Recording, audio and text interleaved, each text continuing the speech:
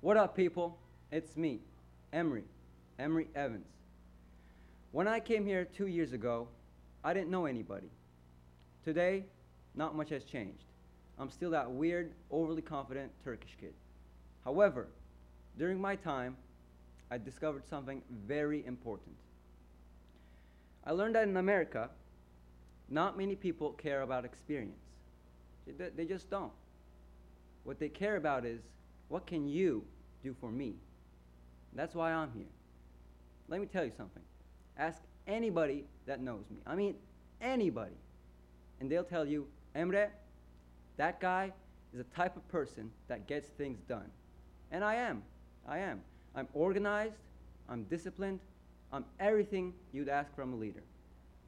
You think lunchtime needs more fun? I'll bring back the pull up bar permanently. You don't like the food at the school?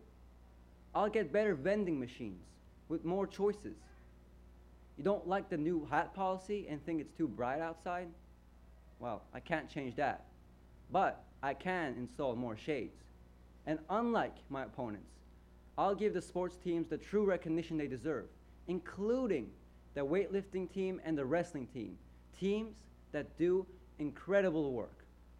These are only some of the things I'll do. And believe me when I say, I'll do them. Just give me a year. And remember the name